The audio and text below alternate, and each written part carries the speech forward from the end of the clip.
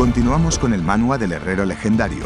Te dejo aquí las partes anteriores, pero si ya vienes de ellas, ponte cómodo, toma un aperitivo y comenzamos con el resumen. Tras forjar la vasija del alma, los fragmentos del alma de Braham que había esparcidos por el continente se reúnen en el receptáculo. Grid por su lado nunca pensó que reviviría de esta forma al legendario mago Braham, considerado el padre de la magia. Gracias a él, Grid ha subido de nivel y recibirá recompensas asombrosas, aunque ahora que lo piensa podría haber embellecido un poco más la vasija del alma. Ya dentro del recipiente, Braham comenta que el día que se conocieron mencionó que Pagma murió hace 300 años, pero los registros históricos indican que el herrero murió hace poco más de 100 años, así que le pregunta a Grid que si sabe el motivo de esta diferencia temporal. El protagonista contesta que la única explicación es que la única respuesta sería que Braham o los registros históricos mienten. También recuerda que en el diario de Wendy se registró que Pagma aún vivía hace 140 años, así que lo más probable es que Braham esté mintiendo. El mago responde que ninguna de las dos es mentira, ambas fechas son correctas. Revela que Pagma murió hace 300 años, pero continuó existiendo hasta hace 100 años. Esto sorprende al protagonista. Braham relata que Pagma y él se conocieron hace más de 300 años, en aquella época sus habilidades en herrería ya superaban con creces los estándares humanos, inclusive Braham pudo aprender cosas de él. Braham, que incluso despreciaba a Dios, logró crear una relación respetuosa con Pagma, era la única persona a la que podía llamar amigo. En 10 años, los conocimientos de Braham y Pagma evolucionaron juntos, incluso diseñaron la vasija del alma. Pero para crear la vasija del alma, se necesitaba un ingrediente mejor que el adamantium, por lo que trabajaron juntos hasta crear el pabranium. Entonces Grid recuerda que Braham le había dicho que Padma murió de viejo tras haber creado el Pabranium y el mago responde que eso también es lo que él creyó. Grid no comprende bien esto, pero le recuerda al mago que aún debe darle su recompensa. Braham comienza a agradecer al protagonista por forjarle la vasija del alma, con la cual logró reunir todos sus fragmentos de alma y Grid por su lado pregunta por el Pabranium. Advierte a Braham para que no huya con la vasija del alma. Braham continúa diciendo que es complicado llamar a esto resurrección, pues todavía no posee un cuerpo que pueda contener su alma. Grid no entiende a dónde quiere llegar el mago. E inesperadamente Braham se lanza sobre el protagonista ordenándole entregar su cuerpo. Grid invoca rápidamente a su espada sin entender lo que pasa. La misión debería haber sido completada ya pero parece que aún falta algo y Grid maldice a los desarrolladores del juego. Braham esquiva la espada de Grid y menciona que sería un honor para Grid entregarle su cuerpo al mago legendario, y el sistema le informa al prota de que Braham está tratando de apoderarse de su cuerpo. Aunque inesperadamente para Braham, el cuerpo de los jugadores está protegido y los intentos de posesión son neutralizados expulsando al vampiro. Braham comenta que es una pena pues le gustó el cuerpo de Grid. El protagonista por su lado responde exigiendo su recompensa de una maldita vez. Inmediatamente el sistema informa de que completó su misión recibiendo 17 minerales de Pabranium y el hechizo de misil mágico encantado. El mago comenta que ahora que ya tiene la vasija del alma, el resto de Pabranium no le sirve y en cuanto a enseñar magias para él es muy sencillo. Entonces menciona que Grid es bastante tonto para ser el sucesor de Pagma, pues ya le advirtió de que tuviera cuidado con las cosas que lo puedan amenazar, pero el furioso protagonista le pide un momento al mago. El prota grita furioso porque el mago legendario tan solo le enseñó una magia básica como el misil mágico. Braham por su parte piensa que es extraño que fuera el sucesor de esa persona quien lo resucitaría, aunque lo único que tenía guardado para Grid era resentimiento por la traición de Pagma. Entonces Braham exclama que los pecados que cometió el prota durante el último año y medio deberían castigarse con la muerte, pero como hoy está de buen humor lo perdonará, por el momento tan solo observará las acciones del sucesor de su amigo. Entonces Braham desaparece mientras el protagonista le reclama que hubiera sido mejor que él se hubiera quedado simplemente con todo el Pabranium, de fondo el demonio Amoract está sorprendido porque Braham esté favoreciendo al asesino de sirvientes de Yatan. Amoract falló en convertir a Yura en un demonio, pero consiguió una forma para mantener a raya a Marie Rose, así que su objetivo en el mundo humano quedó por finalizado. Yendo con Braham, este revela que nunca tuvo la intención de apoderarse del cuerpo de Grid. Tan solo quería darle una lección para que no confíe en nadie. El gran mago solo necesita su propio cuerpo para resucitar completamente.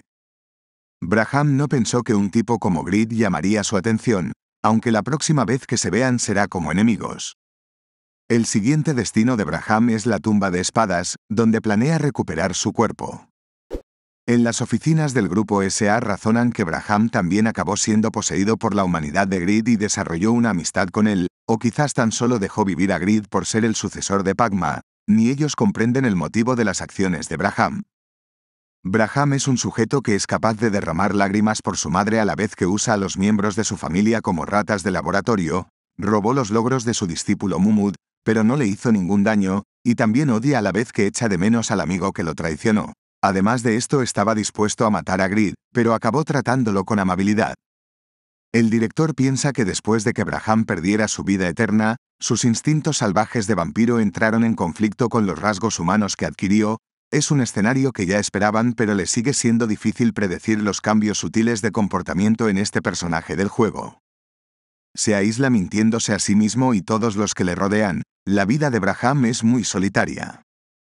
Entonces volvemos a la ciudad de Reidan, donde se emocionan porque el señor de la ciudad haya vuelto. Aquí se nos muestra que la ella se volvió la jefa de la torre mágica de Reidan, la chica escuchó que Grid aprendió magia de Braham y está curiosa por saber la clase de hechizo que obtuvo. El protagonista revela que fue el misil mágico y la ella trata de consolar a Grid, pero ella también está decepcionada. Entonces Grid pregunta por las personas que están entrenando allí y la maga explica que son el clan UL, el pueblo del imperio que acogió el protagonista. Al parecer todos tienen talento para la magia y están entrenando. La ella explica que el objetivo que están golpeando los chicos fue fabricado por los alquimistas de Reidan y se puede configurar la resistencia mágica de este hasta los 5000 puntos, e invita a Grid para que intente atacarlo también.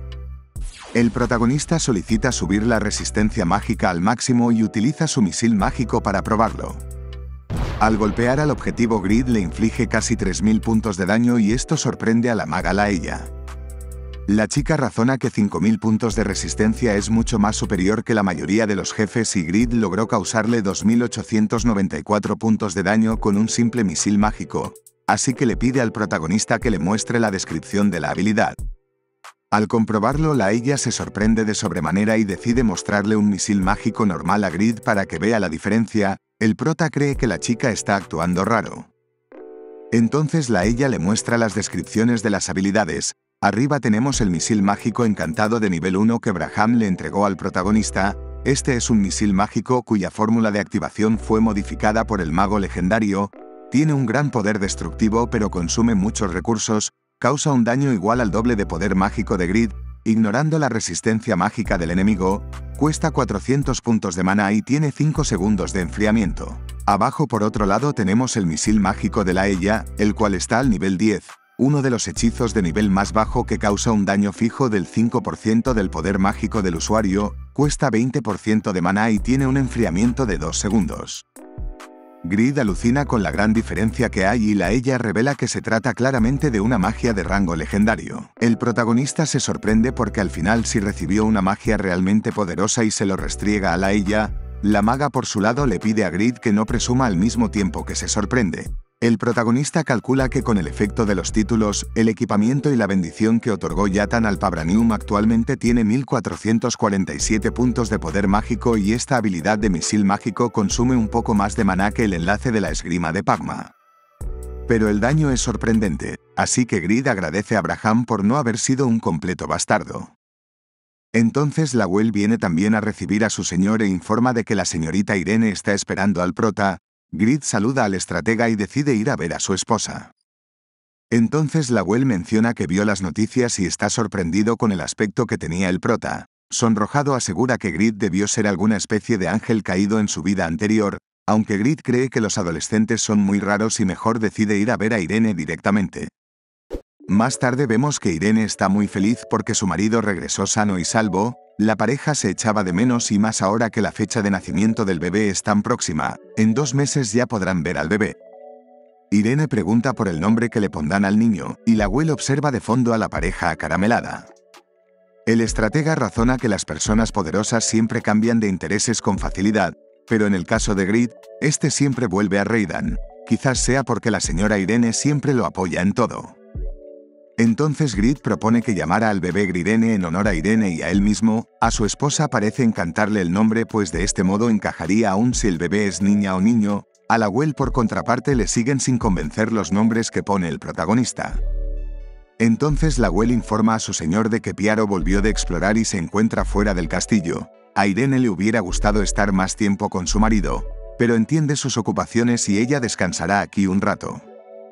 Entonces Grid besa la frente de su esposa y agradece de corazón que siempre lo esté protegiendo. Irene por su lado desea continuar siguiendo a su marido a donde sea.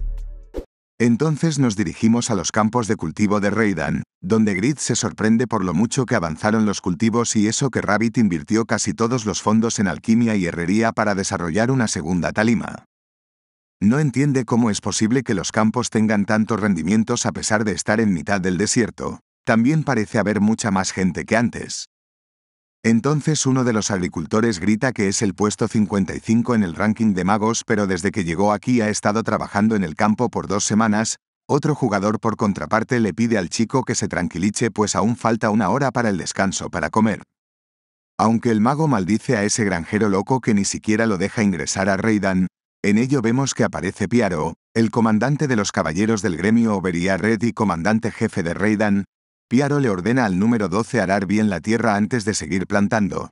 También vemos que una ventana informa de una misión de entrenamiento oculta con Piaro. Entonces el protagonista cae en cuenta y deduce que el agricultor legendario que surgió debe ser Piaro. El prota grita sin poder creer que esto sea cierto y también pregunta por quién demonios son todas estas personas. Piaro por su lado saluda a su señor después de no haberlo visto en un tiempo, Explica que estas personas vinieron a ayudar cuando en Reidan se quedaron sin mano de obra por falta de ingresos. Grid no cree que esto sea cierto, pues sin contar a Piaro el resto está llorando, aunque decide ignorar este tema y pregunta directamente por la clase de persona que es el tercer príncipe del imperio Saharan. Piaro explica que es el tercer hijo de la difunta emperatriz Aria. A diferencia de sus hermanos, este es muy introvertido, solo lo ha visto un par de veces así que no tiene mucha más información de él. Entonces Grid saca el escudo amatista y Piaro se sorprende porque su señor posea este ítem. El prota explica que lo recibió al vencer a un monstruo llamado Guardián del Bosque, pero tiene entendido que solía ser de Piaro. El agricultor desvela que este es un escudo que se transmite como símbolo entre los capitanes de los Caballeros Rojos. Puede parecer un artículo llamativo, pero no es muy bueno. En ello Grid pregunta que para qué lo buscaría el tercer príncipe, además de que busca otras cosas. Entonces Piaro recuerda que el tercer príncipe estaba interesado en cierto ritual por lo que quizás esté intentando reunir los objetos para ese ritual. El protagonista razona que podría ser un ritual de magia negra, pero también podría recibir alguna misión por lo que estará atento y agradece a Piaro por la información. Entonces nos dirigimos a la herrería de la ciudad, donde Khan se burla del protagonista porque la ciudad del herrero legendario es más conocida por su agricultura. Grid comenta que solo han pasado dos meses, pero ya tienen a dos herreros intermedios y parece que Khan también avanzó al nivel avanzado. El anciano responde que gracias a este entorno favorable está enseñando a 80 jóvenes herreros, además de que puede ver al herrero legendario en acción confirmándonos que conocer a Grid fue la alegría más grande en su vida. Desearía poder devolverle al prota la mitad de todas las alegrías que le dio Grid, incluso le daría el resto de su vida a él. El protagonista responde que Khan debe vivir hasta los 500 años, pues no puede imaginarse este lugar sin el anciano. Khan responde bromeando con que Grid solo quiere abusar de un anciano de 70 años, quizás lo abandone para casarse de nuevo. Pero el prota responde con que si es así podría ayudarlo a tener citas, pues el prota ha leído muchos libros sobre este tema. Entonces su conversación es interrumpida por un mensaje del abuelo, quien le informa al protagonista de que tienen visita. Grid deduce que no es una visita cualquiera porque si no la abuelo no le habría escrito, no sabe quién puede ser pero irá a la sala de recepción de inmediato. Más tarde el protagonista confirma que la visita es una persona importante, pero no se imaginaba que sería el maestro de uno de los siete grandes gremios. Le hace saber al tipo que Oberia Red absorbió al gremio Sedaka, y a Jigsuka y el resto no les cae muy bien este tipo. El jugador responde que lo sabe muy bien, pero asegura que los antiguos miembros de Sedaka no le guardan rencor, debido a que pasó mucho tiempo desde la época de LTS. El jugador continúa diciendo que perdieron su territorio durante la invasión de los golems así como sus reputaciones, aunque ya han resuelto parte de esto con trabajo duro, vino aquí para pedirle ayuda a Grid con un problema que no puede resolver solo. Se nos revela que la visita es Chris, el maestro del gremio gigante y tercer puesto del ranking unificado. Este último le pide al protagonista que le forje el arma más fuerte del mundo. Grid responde que en el caso que realmente no tenga problemas con el gremio Sedaka podría forjarle un objeto, pero preguntar por qué clase de objeto quiere. Chris responde que le gustaría una gran espada azul como la que tiene el protagonista. Grid decide dejar las relaciones entre gremios para más adelante y le pregunta a Chris que cómo va a pagarle. El jugador responde que probablemente a Grid no le interese el dinero, por lo que ofrece un ítem más valioso que el dinero. Vemos que Chris sacó un elixir de agilidad, el cual aumenta la agilidad en 10 puntos permanentemente. Este es un objeto que el protagonista no pudo conseguir ni después de arrasar 5 ciudades vampiro. Además de que Grid necesita aumentar su agilidad para la esgrima, es demasiado bueno para rechazarlo, pero si se enteran de que aceptó una petición de otro gremio podría sembrar caos. Chris interrumpe los pensamientos del protagonista mencionando que vino aquí por la fama de Grid, y el protagonista decide aceptar la petición de Chris llamándolo cliente, pues parece que se le ha ocurrido una idea al prota. Mientras tanto en la ciudad, los chicos del gremio gigante esperan aburridos a Chris, ni siquiera vieron a un solo miembro de Sedaka y Mihara todavía tiene asuntos con Regas. Aquí se nos revela que Mihara está en el primer puesto del ranking de espadachines mágicos, y en sus enfrentamientos contra Regas cuenta con tres empates y once derrotas. También está Circan, el primer puesto del ranking de espadachines. Este último le recuerda a Mihara que no vinieron aquí para luchar, sino para acompañar al capitán Chris. No deben meterse en problemas, aunque Mihara le recuerda a Circan que Ibelin le robó su primer puesto en el ranking de espadachines al anciano por una temporada. También se nos presenta a Kill Mister y Pinky, quienes forman parte de los cinco principales capitanes del gremio gigante. Pinky comenta que a pesar de que esta es la ciudad de un duque, aquí solo hay granjas y campos, Killmaster responde que este debe ser el límite para un gremio pequeño. Y juzgando que la agricultura es el foco principal de una ciudad tan grande, deduce que deben ser bastante incompetentes. Mihara decide dar un paseo hasta que regrese el maestro de gremio, pero a Sellas le advierte para que no haga nada estúpido. Más tarde vemos que Mihara camina por la ciudad quejándose por lo aburrida que es esta ciudad. Entonces se topa con una aldeana y exclama que encontró algo divertido para pasar el rato. Tomando a la NPC por detrás le ordena que no se mueva. La aldeana pide que la suelten, pero Mihara no sabe por qué la NPC reaccionó de esta manera. Entonces aparece la silueta de Piaro, que pregunta por la identidad del forastero. Piaro explica que todo en Reidan le pertenece a su majestad, el duque Grid, expresa que ni el emperador podría tocar nada sin el permiso de Grid, aunque Mihara manda al carajo al NPC agricultor por meterse donde no lo llaman. Entonces Piaro golpea y el jugador logra esquivarlo a duras penas activando su habilidad de prisa. Desenvainando su espada, se pregunta que quién demonios es este tipo. Si su agilidad hubiera sido un poco más baja no podría haber esquivado el ataque del agricultor. Pero antes de siquiera poder hacer nada es golpeado consecutivamente sufriendo muchísimo daño.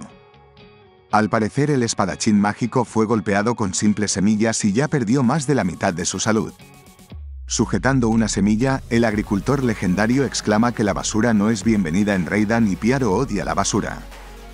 Entonces Mihara es golpeado de nuevo por las semillas sin siquiera poder reaccionar.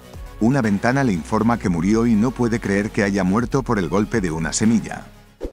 Mientras tanto en la fragua Grid piensa que seguramente los chicos le van a entender, además de que tiene que terminar el set de Grid de todas formas.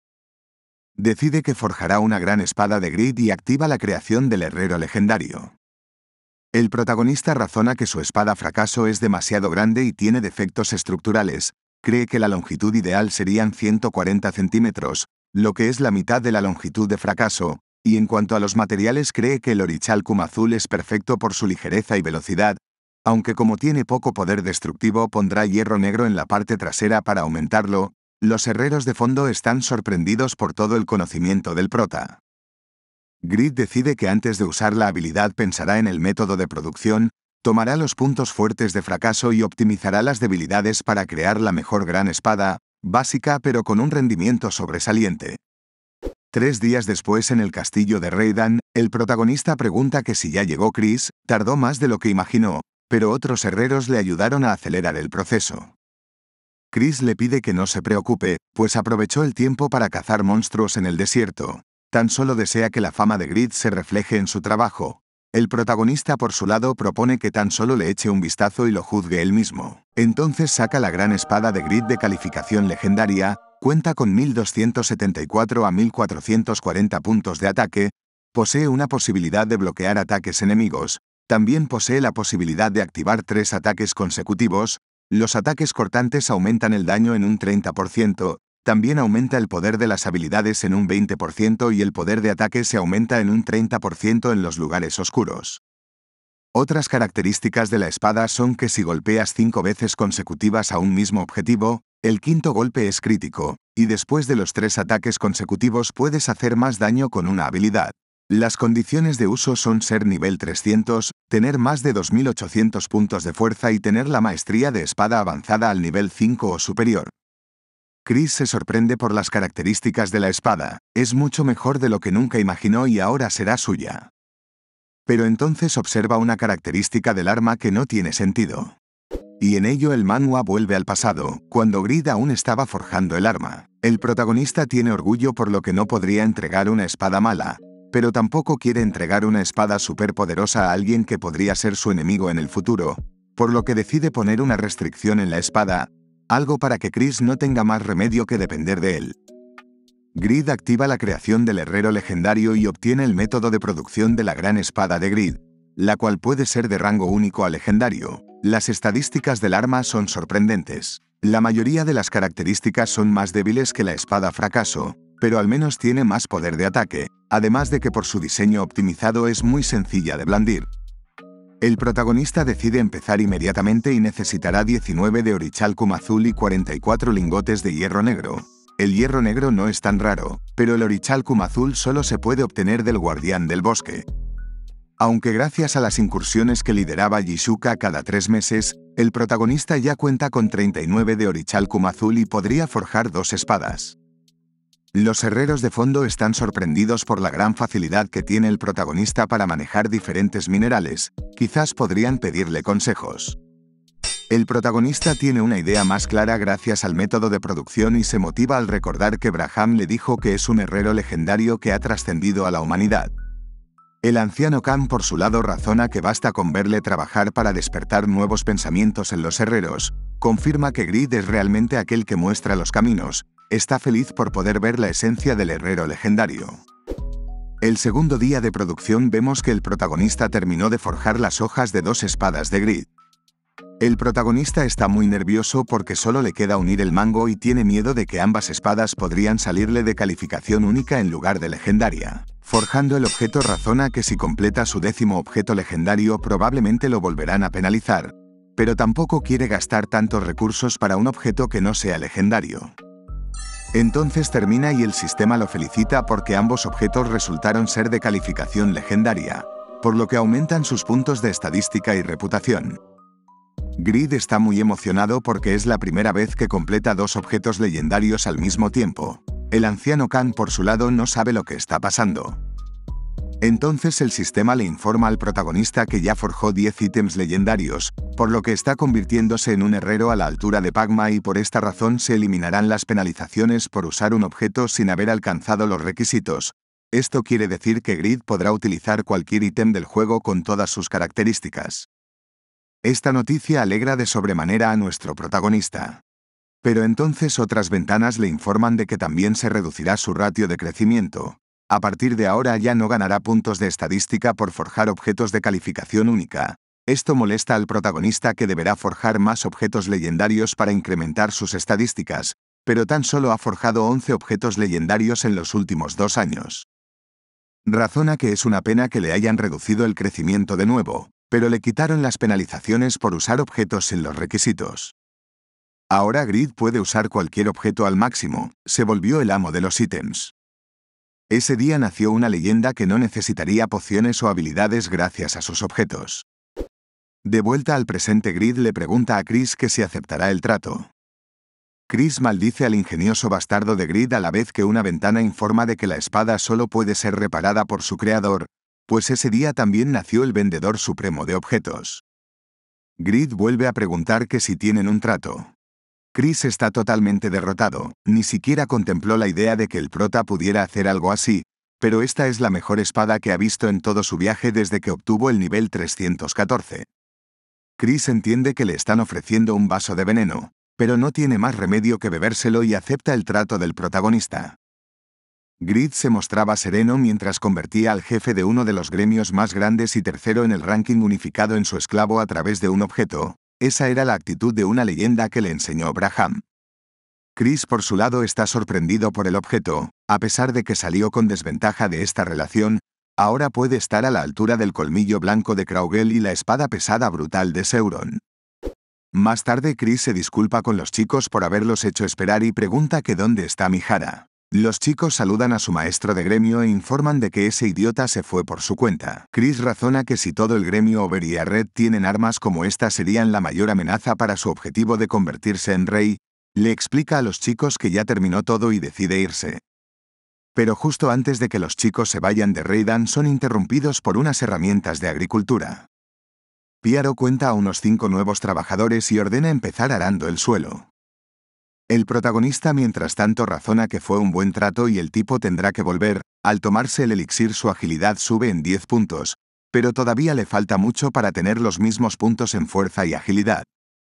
Cada vez que sube de nivel, la cantidad de experiencia necesaria se multiplica, y aún así Kraugel le saca cuatro niveles al segundo puesto, el prota se pregunta que cómo demonios lo hará el tipo. Parece que la única solución que le queda son los elixires. Al protagonista aún le quedan 25 días del aumento de experiencia y mayor tasa de objetos en las ciudades vampiros, y Pon y Regas ya están al nivel 308 por lo que el prota decide unirse a ellos lo más pronto posible.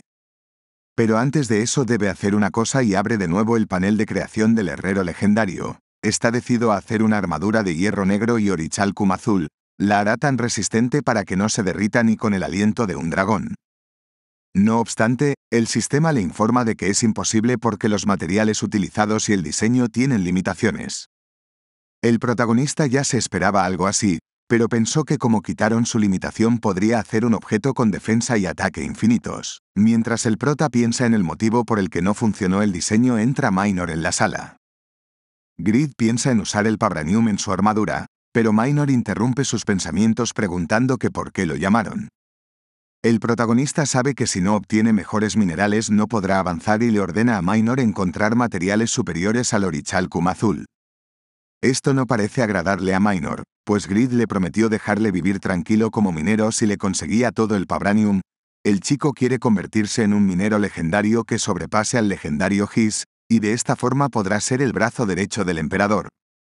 Grid puede ver la traición en los ojos del chico y comenta que escuchó por parte de Rabbit que la salud de la madre de Minor empeoró.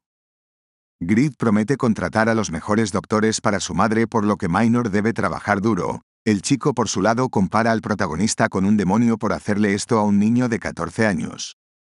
Grid comprobó con su espada de gran señor que el talento de Minor en la minería no es de rango legendario. Lo mejor para el chico sería perfeccionar su habilidad de detección de minerales raros. Entonces Grid recibe un mensaje de Eufemina, quien informa de que ya ha reunido cuatro lágrimas del rey del clan del agua y pregunta por lo que debe hacer ahora. El prota por su lado se sorprende por la cantidad. Grid recuerda que el rey del clan del agua derramó una sola lágrima durante cinco meses. No sabe cómo Eufemina consiguió tantas. La chica explica que tuvo la suerte de recibir una misión especial y le contará más tarde al protagonista. Grid responde que estará esperándola y le pide poner los materiales en el inventario del gremio. Con estas lágrimas podrá imbuir hechizos de magia en el Pabranium. Grid recuerda que desde que vino Chris solo han estado pasándole cosas buenas, por lo que quizás le envíe algunas patatas como agradecimiento.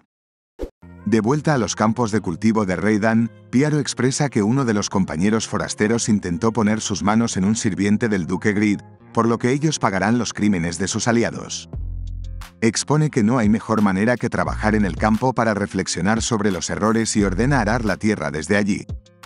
Pinky maldice al tontito de Mijara por meterse en líos de nuevo. Chris por su lado entiende lo que dice el agricultor pero será él quien castigue a Mijara y le pide al agricultor que los deje irse.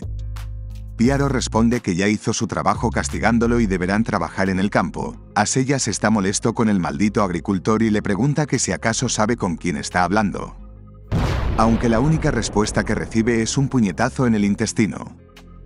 Piaro le vuelve a repetir a los chicos que cojan la azada y se pongan a trabajar. Deberían aprovechar la oportunidad para aprender. Los chicos están sumamente sorprendidos, no saben cómo un agricultor podría vencer a Asellas de un solo golpe. Entonces Chris recuerda que la invasión de los siete principales gremios fue detenida por un granjero desconocido. Incluso derrotaron al segundo puesto del ranking unificado Cibal. Recordando que Cibal se refirió a este tipo como el granjero loco de Raidan, Chris se equipa sus objetos. Ahora que Chris obtuvo una segunda clase y tiene una nueva arma, cree ser más fuerte que Cibal y decide enfrentarse a Piaro para medirse, vemos que Chris posee el tercer puesto del ranking unificado y con la clase de guerrero de la destrucción.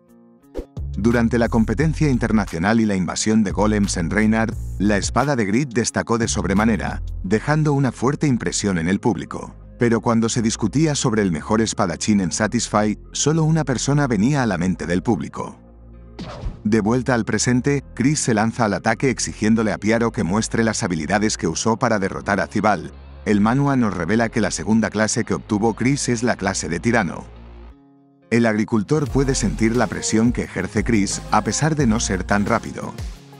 Se nos muestra aquí que la clase de guerrero de la destrucción tiene la habilidad pasiva del camino de la derrota, la cual reduce la velocidad de casteo de habilidades y agilidad de los enemigos.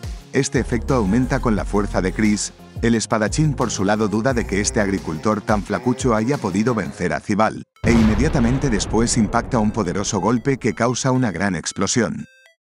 Chris confirma que su nueva espada es perfecta, su tamaño y forma son ideales para un gran manejo de la espada. Incluso le toma menos tiempo recuperar la posición de guardia, está impresionado con Grid por ser capaz de crear un arma tan impresionante.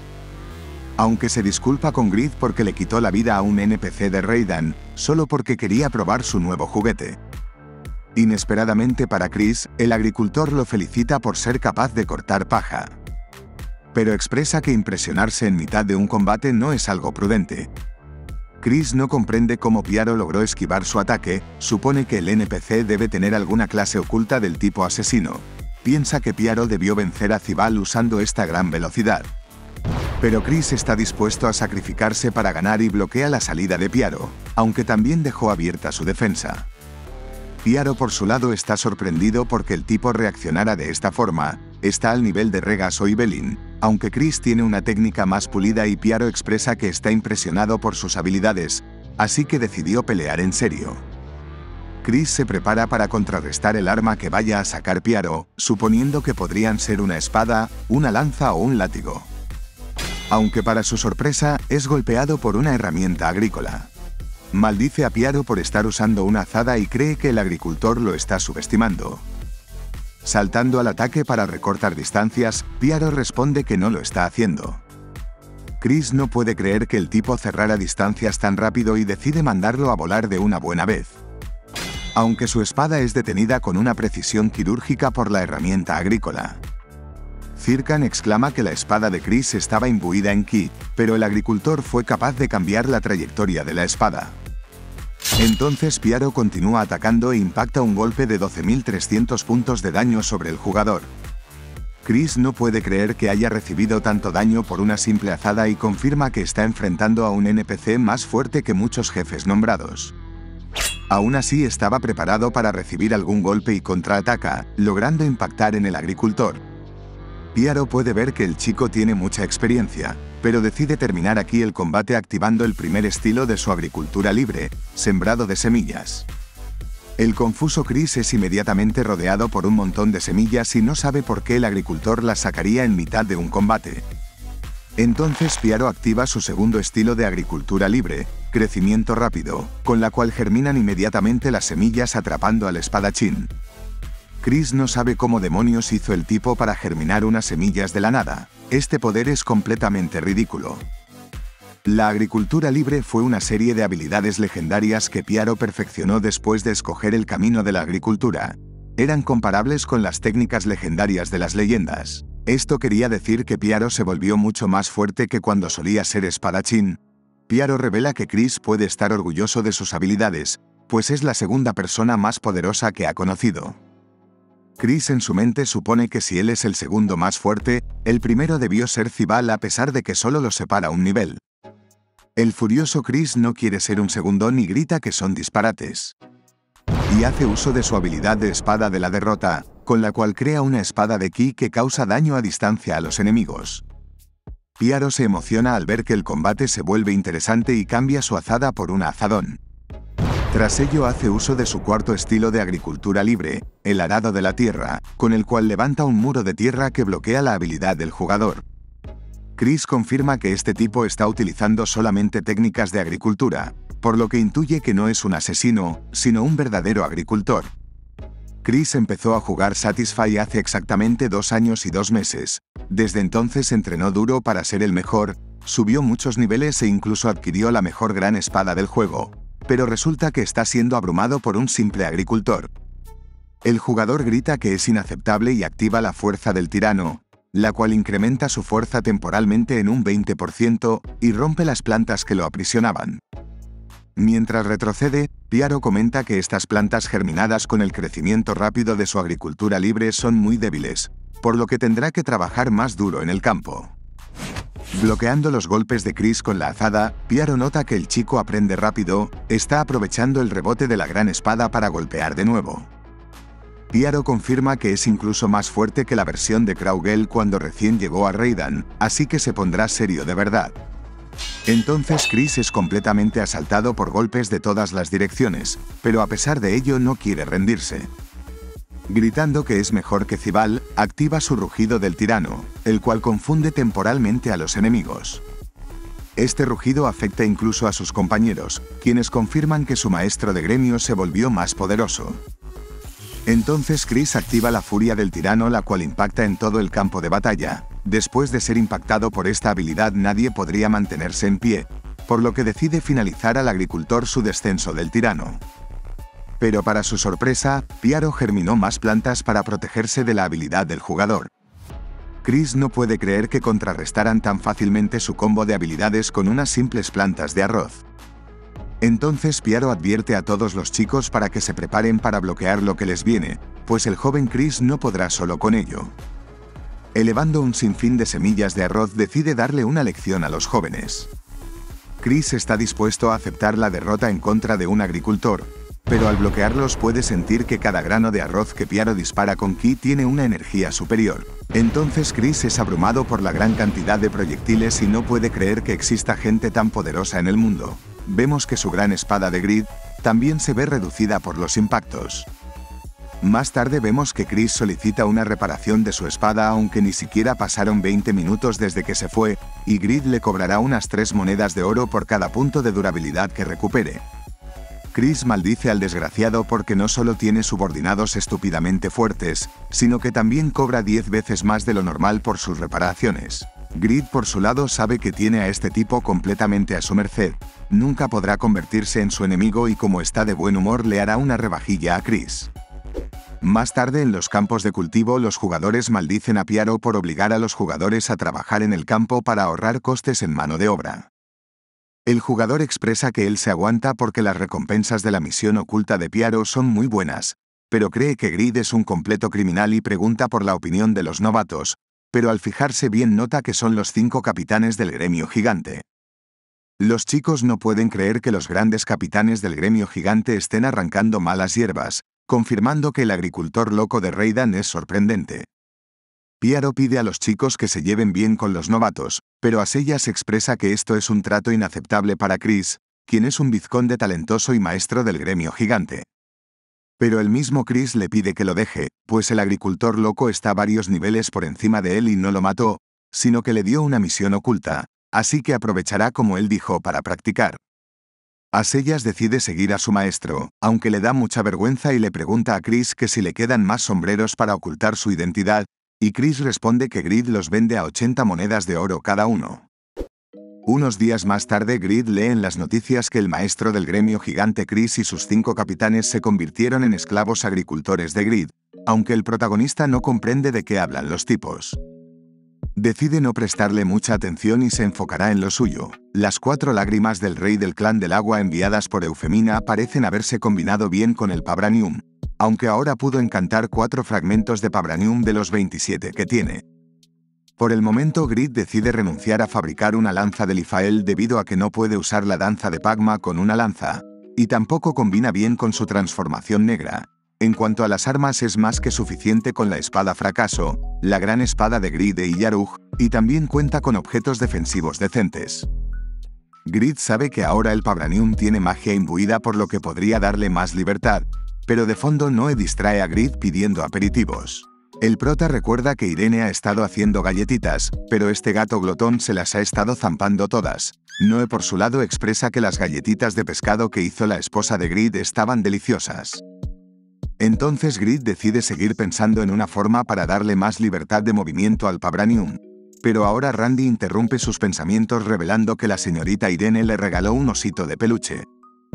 Grid felicita a Randy y le pide que se vaya a jugar con su osito, pero vemos que Noe molesta a la pobre doppelganger. Entonces Grid es interrumpido de nuevo, y esta vez es Piaro quien le pide a su señor más herramientas agrícolas. Grid quiere hablar con su caballero y Piaro saluda formalmente a su señor. Grid está molesto porque Piaro volvió a ir al campo y pregunta por la posición que tiene su caballero. A lo que Piaro responde ser el capitán de la primera división de caballeros Obería Red, el comandante jefe de Reidan y también un agricultor. Grid le pregunta que si está jugando a ser un granjero, y si acaso descuidó sus responsabilidades como caballero y comandante, pero Piaro responde que las asume sin descuido. Grid quiso ignorar el tema del mensaje porque no quería reconocerlo, pero decide afrontarlo y le pregunta a Piaro el motivo real por el que está trabajando como un agricultor. El NPC responde que simplemente se dio cuenta de que no quería seguir el camino del santo de la espada. Pero el protagonista le grita que simplemente se rindió y huyó del camino de la espada por falta de talento y se escondió en el trabajo de agricultor.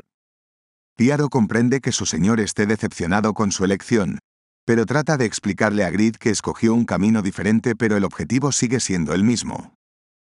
El protagonista le recrimina a Piaro que si se enfocara en su talento con la espada podrían obtener más territorios y habitantes, pero solo está malgastándolo en el campo, maldice a Minor porque también está desperdiciando su talento de la misma forma. Le grita a Piaro que él no entiende el dolor de no tener talentos, recriminándole que hay muchos agricultores que podrían hacer su trabajo en el campo.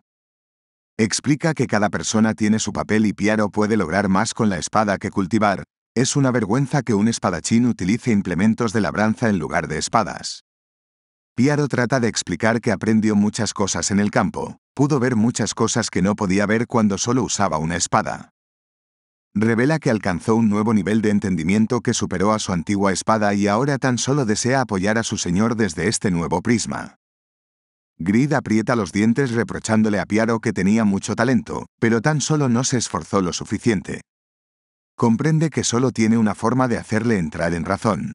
Quitándose los guantes le ordena a Piaro salir fuera, compararán la espada del prota con la azada de Piaro para ver quién está más cerca de la verdad. Piaro no quiere ser irrespetuoso con su señor, por lo que aceptará el duelo del protagonista para que éste lo reconozca. Demostrará que superó sus días de espadachín y como granjero ha alcanzado niveles mucho más altos. Vale mi rey, dejamos el resumen por esta parte, pero tienes en este lado la continuación, y en este otro lado te puedes suscribir para no perderte próximas partes. Gracias por ver hasta el final.